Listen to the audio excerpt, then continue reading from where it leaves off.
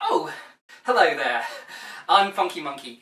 Welcome to my house of love. uh, yeah. Sorry, you've uh, just caught me playing about with this ring that I got in the mail a couple of days ago. Wonder who sent it to me. Oh well. Let's move straight on to today's topic. I just need to find out what it is. Ah, Batman, Mask of the Phantasm. Good choice.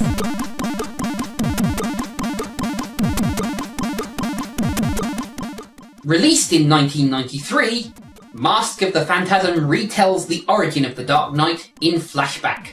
While in the present, Batman investigates a deadly doppelganger with a hit list of monsters. Spinning out of the Emmy Award winning animated series, this was the first of three feature length adventures for Gotham's Guardian, which would see him battle Mr. Freeze and even a mysterious Batwoman. So, without any further ado, ladies and gentlemen, and variations thereupon, I give you Batman, Mask of the Phantasm. Another night in the original city of crime, Gotham. A bunch of mobsters have the latest in counterfeit money.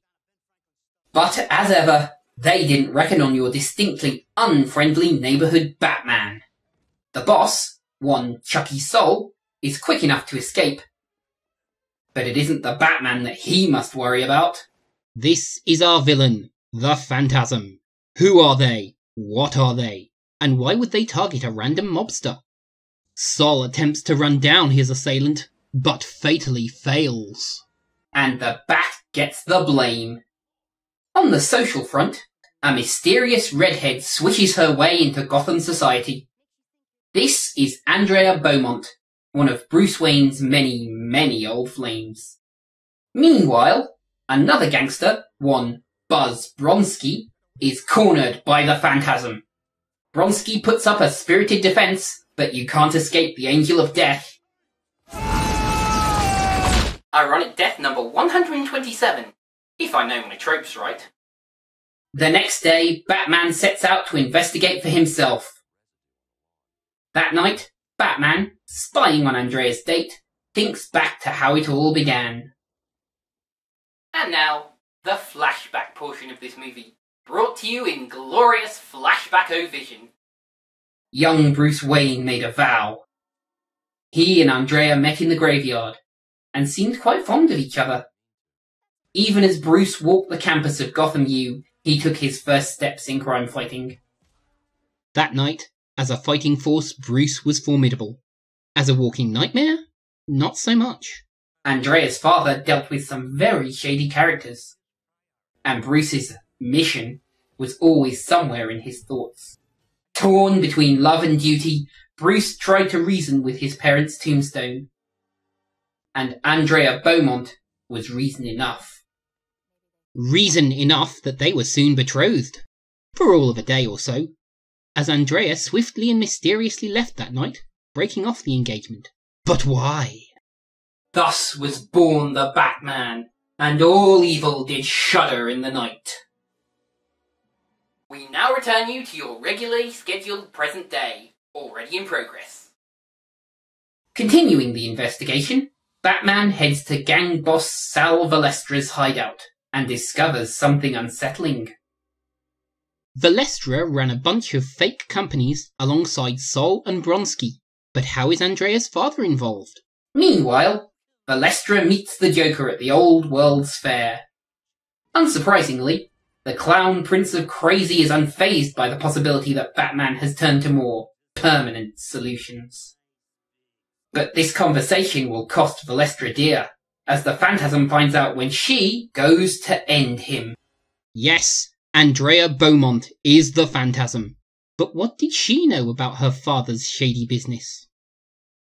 A terrible truth is also revealed. Well, the Joker wasn't always the mirthful maniac he is today. Once he was merely an enforcer, working under Valestra. Speaking of Mr. J, he makes an appointment with Councilman Reeves. Which goes about how you'd expect it to. Before he was Councilman Reeves, Arthur Reeves used to work for Beaumont, and after mysteriously disappearing, Beaumont kept in touch. And while Joker Toxin can be combated with enough sedative, A stressful encounter with the Batman would raise anyone's heart rate.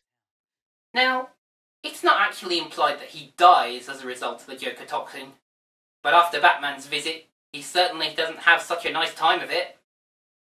And so the stage is set for our finale.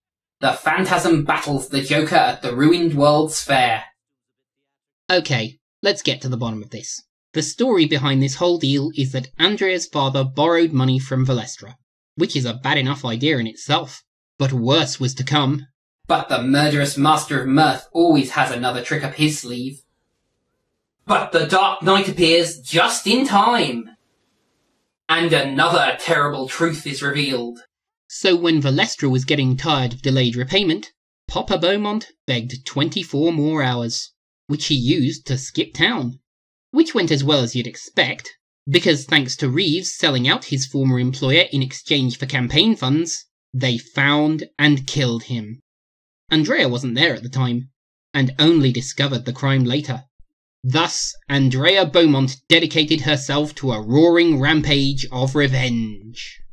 But the Joker intends to have the last laugh. Because he doesn't care about any of this, and only seeks to kill Batman for yucks. Thus, he's packed the tunnels under the World's Fair with explosives and set a five minute timer. Until he's thwarted at the last minute, that is. Andrea will have her revenge, even at the cost of her own life. And so our movie ends with Batman, Gotham's eternal protector, watching over his first love, the city. So that was Batman, Mask of the Phantasm. And come on, this is from the stable that brought us Batman the Animated Series. Of course I'm gonna put it into the House of Love. So often, spin off movies feel like overlong episodes of the TV show they're based on. So you could say of this movie. Then again, given that this movie is a spin off of an award winning animated series, this is no bad thing. And, at a positively anorexic 73 minutes, it doesn't outstay its welcome.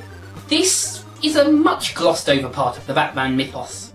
A glimpse of what might have been if Bruce had chosen love over vengeance. And much as I love Transformers the movie, Transformers the movie is all spectacle, an epic battle against the Planet Eater. Batman Mask of the Phantasm is more a personal story, a tale of love, loss, betrayal, and vengeance, all wrapped up in the cape of the best screen Batman there ever was. At least in my opinion. So then, if I am taken from this earth before I get the chance to make any more videos, I'd like to thank all of my viewers, old and new, for choosing my little house of love over an endless sprawl of hate.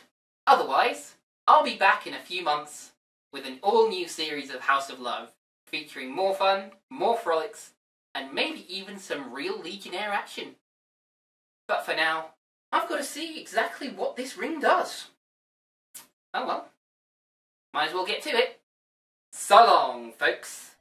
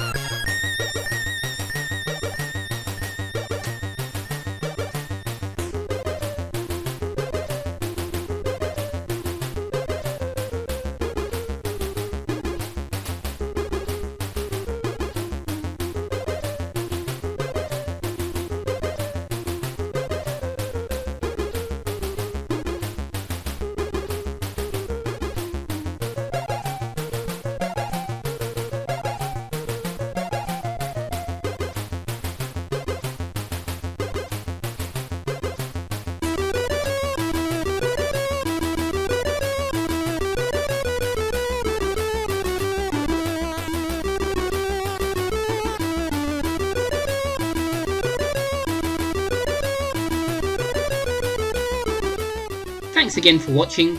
I hope that you've enjoyed these remasters as much as I've enjoyed making them. Don't forget to check out Season 2, which should be linked right here.